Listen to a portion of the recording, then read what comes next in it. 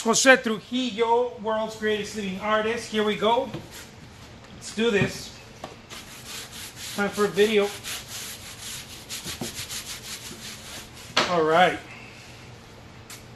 Bam, something a little bit different. Okay? Something uh, a little bit more horizontal. Can you, can you can you close that door for me, please? Daniels? All right, here we go, guys. Welcome to my studio.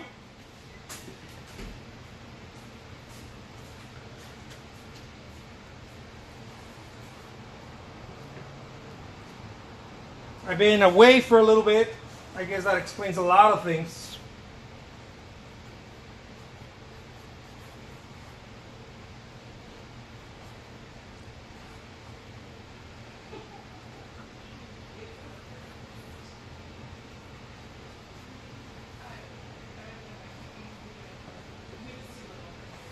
There we go.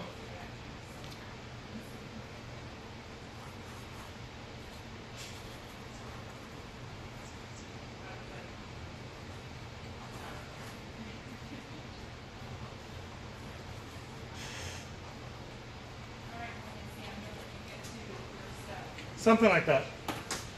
Okay? Thinking of Marlin, baby, because they can. So the way that I like to paint is I basically just kind of outline something. Not always, but for the most part. And then I just go to, I just go for it. Okay? What this does is it allows me it allows me to to create um,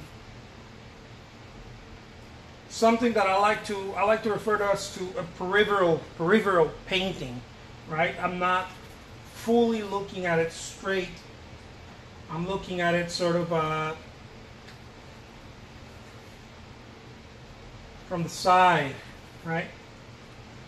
I don't want to look at it straight because if I look at it straight, I'm gonna try to I'm gonna try to fix things and and and and, and loose brush painting. I don't I don't like fixing things meaning trying to get the, the, the, the, the colors right, trying to get the line right, and on and on and on.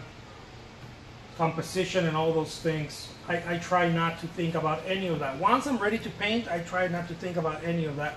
And I, and I paint very, very uh, uh, wet.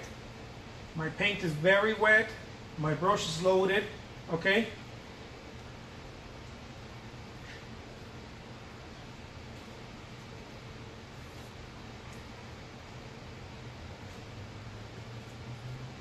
And this is pretty much how we do it.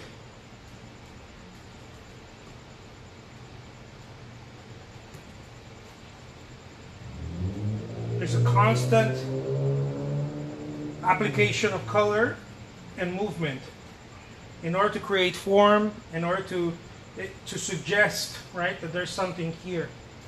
Most of the painting is is is, is uh, suggesting something is there.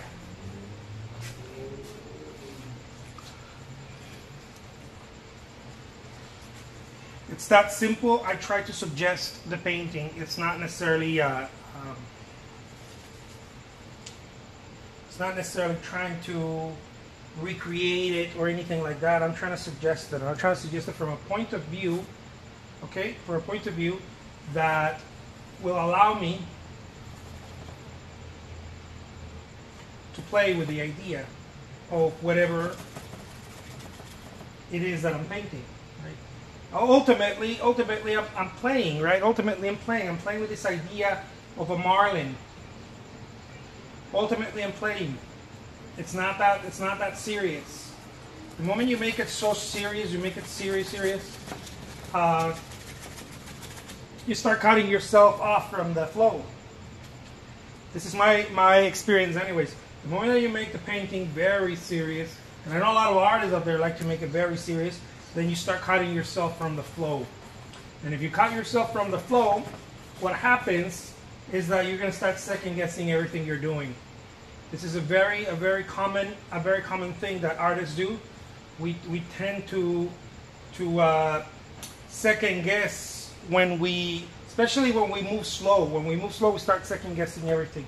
So one of, one of the things that I do is that I like to move fast. Okay, I like to move fast and almost purposeless. I just do, you know? It's almost like I'm just gonna do. It's not really uh, where the colors are, what, what do they mean, what does it matter. I, I really don't care. I just do. And this allows me, again, the opportunity and the freedom, the edge, I guess, I, I can even say that, the edge over other, other uh, disciplines of painting, the edge to, to, to do my own thing.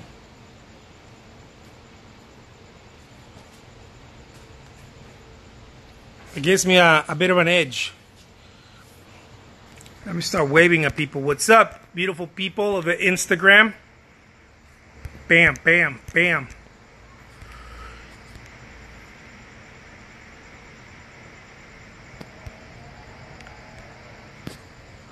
Something like that.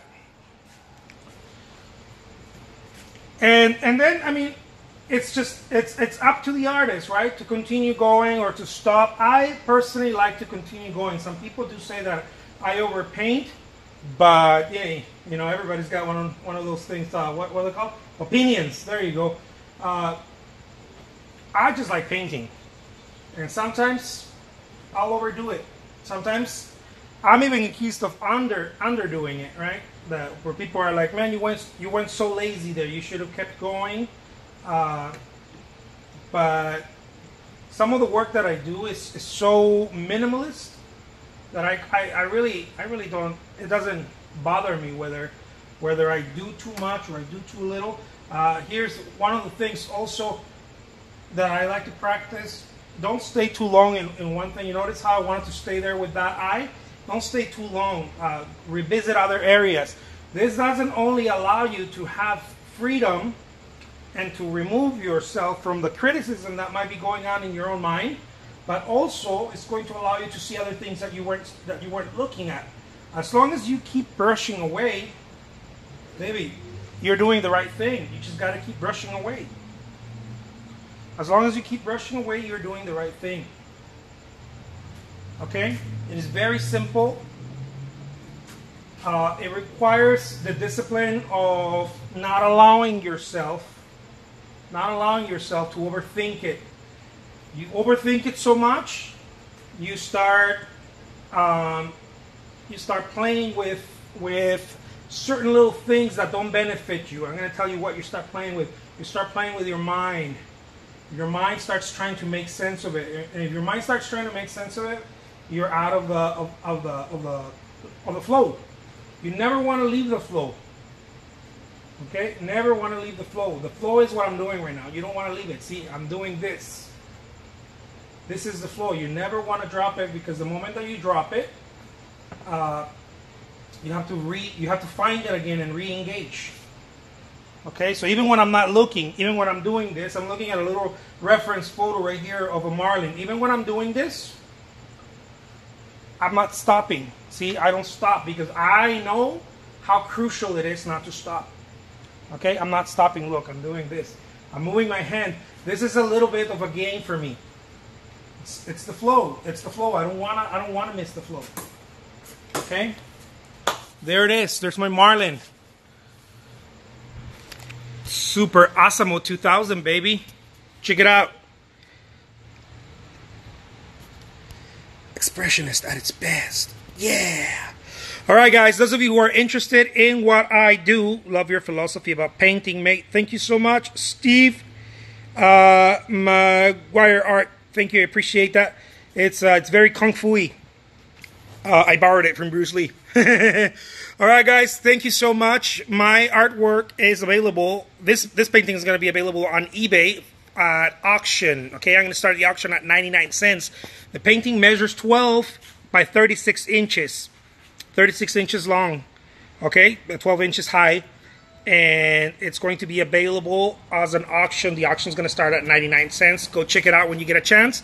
The link is in my profile. All right, guys, take care. What's up, Jose Luis?